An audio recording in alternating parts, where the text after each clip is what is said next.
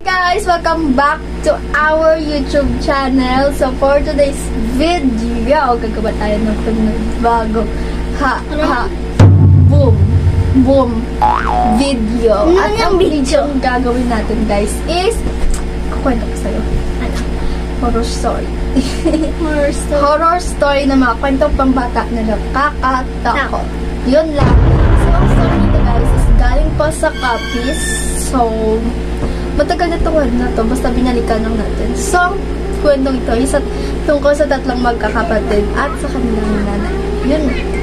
So, kasi dati, doon sa Capiz, yung bahay kasi nila noon, ng, ano, may kapatid kasi silang 2 years old, tapos yung ate nila is 9 years old.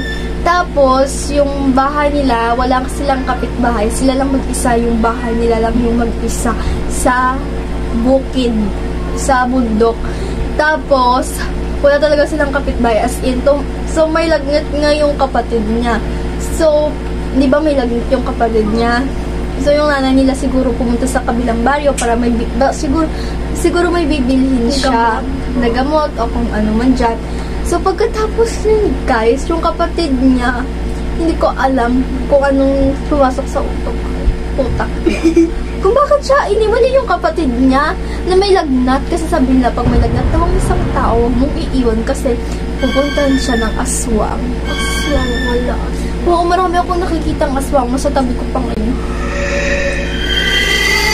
Aswang bago bago sa akin. Bye. Ulit. Yun.